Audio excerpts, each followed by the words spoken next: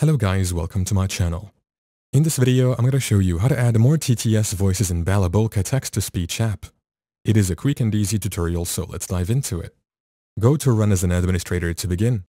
You can do so by tapping on the search menu at the bottom of your screen. Click on Run as an Administrator to dive right into it to open it with full access. Once inside, navigate through the registry by expanding the necessary sections. First, go to HK Local Machine. Now then dive into Software.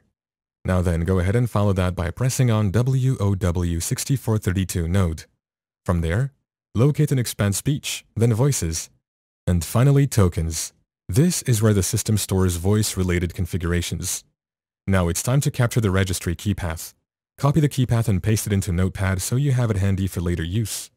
After that, move on to another section of the registry. Once again, start from HK local machine, then expand software, followed by Microsoft. Keep navigating through Speech OneCore, then Voices, and finally Tokens. This area contains the voices installed on your system.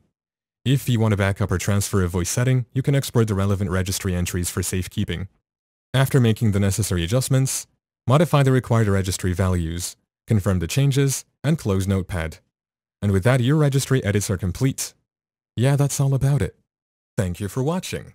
If this video was helpful, please leave a like and subscribe to my channel for more videos like this. And click on that notification bell to never miss an update.